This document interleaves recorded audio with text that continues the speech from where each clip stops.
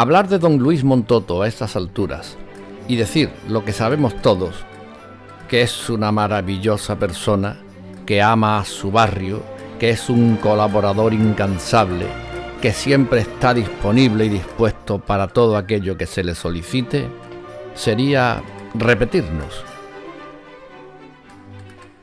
Estos premios que nos traen en varias ocasiones han reflejado el amor que sentimos por él.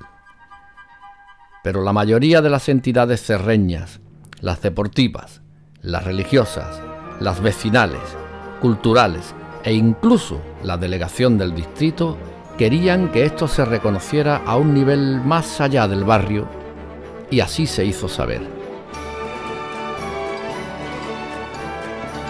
Y el gran momento llegó. Don Luis Montoto, nuestro don Luis Montoto, sería reconocido por la medalla de la ciudad de Sevilla. Y esto pasó a finales del pasado mayo.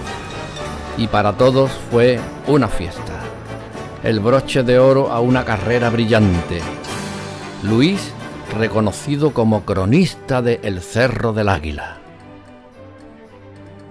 Y es por lo que esta noche de emociones vamos a reiterar que don Luis Montoto Martínez es una fuerza viva del Cerro del Águila y que ya la ciudad de Sevilla lo sabe, lo refrenda y lo rubrica con su medalla.